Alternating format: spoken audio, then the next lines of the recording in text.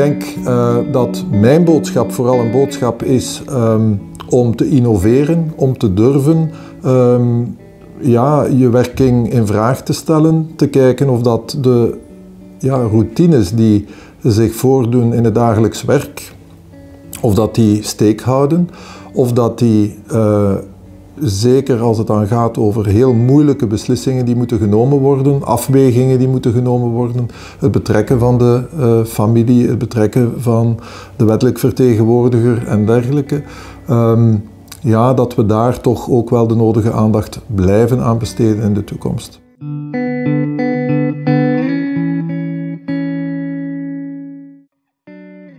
Ben Jurgen Verschagen, ik ben directeur van het eh, Vlaamse Expertisecentrum Dementie.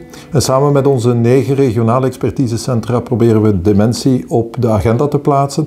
Maar vooral met de bedoeling om de kwaliteit van leven van mensen met dementie, hun familie, maar ook professionele hulpverleners te verhogen.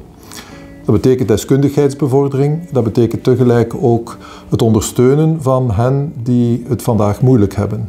Ook uh, mensen met dementie op jonge leeftijd, mensen in woonzorgcentra, mensen in de thuiszorg, mensen in ziekenhuizen. Dus zeer breed en we proberen ook het beleid daarin te beïnvloeden. En in die zin zijn we ook partner van de Vlaamse overheid die ons daarvoor ondersteunt.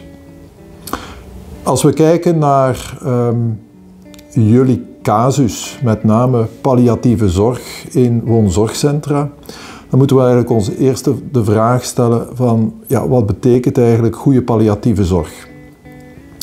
En jullie hebben gevraagd aan mij om eventjes in te zoomen hoe we dat gedaan hebben rond dementiezorg. En heel concreet zijn we aan de slag gegaan een aantal jaar geleden met een aantal medewerkers hier en ook met de werkgroep Kleinschalig Genormaliseerd Wonen om te definiëren van ja, wat is nu goede dementiezorg? En in die zin heeft men aan ons de vraag gesteld van kijk beste mensen van het expertisecentrum, we zouden graag hebben dat er binnen een tweetal jaar, hè, dan spreek ik over eh, de periode 2017-2019, dat daar een afgewerkt referentiekader dementie ligt, gebaseerd op wetenschappelijke inzichten en literatuur.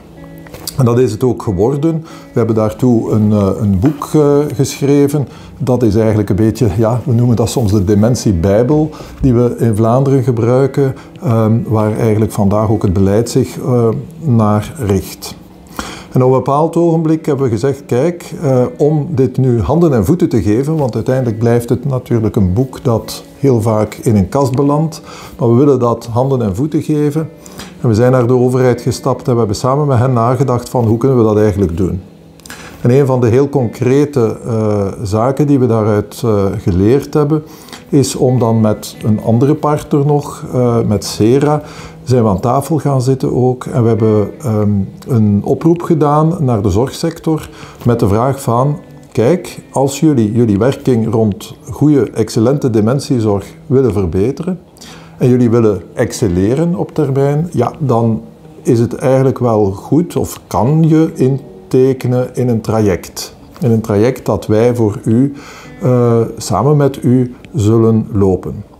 En de zes grote pijlers van uh, het referentiekader, dat zijn de elementen waar dat je als organisatie kunt rondwerken. Er is een oproep gekomen en die oproep heeft geleid tot een, uh, een zestal goede praktijken die we dan in een ander boekje, dat daarop aansluit, onderweg naar betere dementiezorg, uh, hebben ge, geplaatst. Nu, heel concreet, um, als we dan de vertaling maken naar wat de Vlaamse overheid dan gedaan heeft, ook mede onder onze, door onze impuls, hebben we gezegd van kijk, we hebben nu zes organisaties die op een uh, goede manier de juiste bocht hebben genomen om aan betere dementiezorg te werken. Twee ziekenhuizen, twee woonzorgcentra, twee thuiszorgdiensten. Maar het mag er eigenlijk niet bij blijven. Eigenlijk is dat een continu proces waarbij dat je ook uh, je kwaliteit uh, moet gaan monitoren, maar dat je eigenlijk ook je telkens opnieuw met je teams gaat afvragen van zijn we hier goed bezig? Men heeft daar de instrumenten voor om dat te gaan doen. En vandaar dat we een aantal uh, trajecten nu ter beschikking hebben, 20 uh, nota bene, die van start zullen gaan vanaf september van dit jaar. En dat is eigenlijk hetgeen waar de overheid ons, maar vooral de organisaties, uh, in ondersteunt. De organisaties krijgen dit traject bijna gratis. Uh, er zullen er twintig worden uitge, uitgekozen of verkozen met een onafhankelijke jury. En ik moet zeggen dat de aanvragen die binnengekomen zijn eigenlijk onze stoutste verwachtingen overtroffen hebben. We hebben 15% van alle erkende woonzorgcentra in Vlaanderen die een aanvraag hebben ingediend. Het is natuurlijk teleurstellend om dat meteen te moeten zeggen, want dat betekent ja, dat er een aantal niet gaan kunnen eh, bediend worden. Maar het duidt ook wel op de interesse en het duidt ook wel op de nood van organisaties en zeker van woonzorgcentra die na de COVID-pandemie zich opnieuw moeten toch wel een stukje gaan herorganiseren. Die ook geproefd hebben van wat is kleinschalig wonen, wat is kleinschalig werken.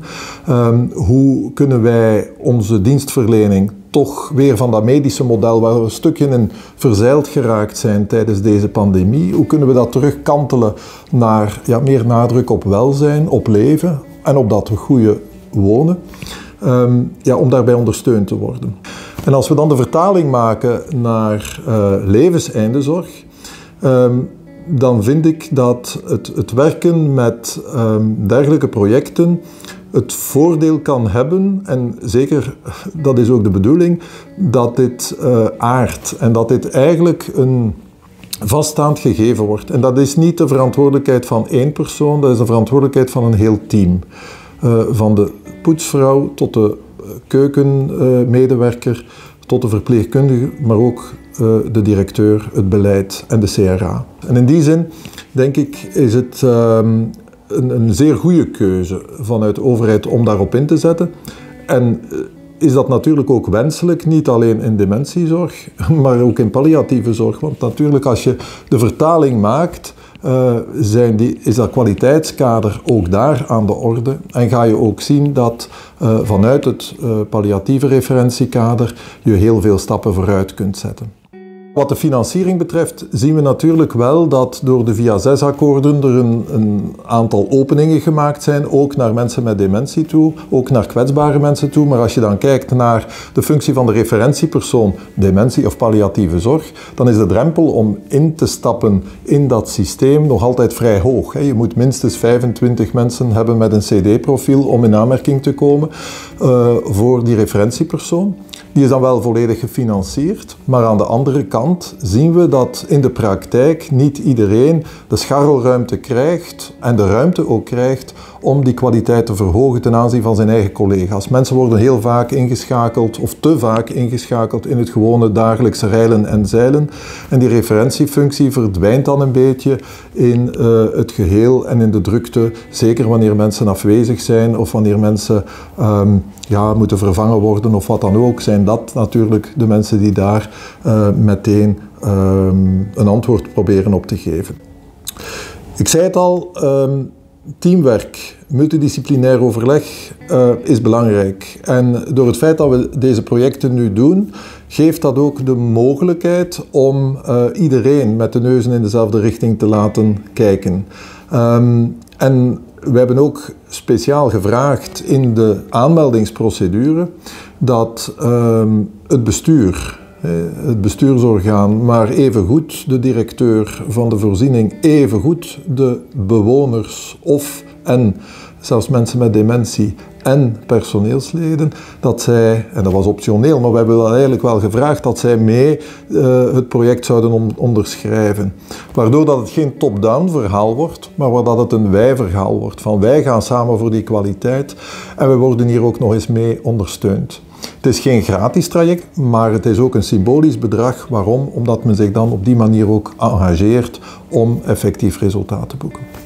Keer ik even terug naar Um, palliatieve zorg, hè, eh, de, de, lage financiering. Ik denk dat um, palliatieve zorg in de woonzorgcentra vandaag nog altijd te vaak verengd wordt tot die laatste levensfase. En ik denk ook dat we daar Um, en dat zal ook nodig zijn dat daar meer aandacht voor is, dat er ook een betere financiering komt, ook voor die refer referentiepersoon palliatieve zorg. Dat er dus ook meer ruimte is om die uh, kwaliteit van zorg, kwaliteit van leven van deze mensen uh, te gaan uh, verhogen. En niet verengen tot dat levenseinde, maar vooral te kijken hoe dat dit kan bijdragen tot de levenskwaliteit. Zeker voor mensen met een beperkt levensperspectief. En dat zijn toch de mensen die vandaag in de woonzorgcentra wonen.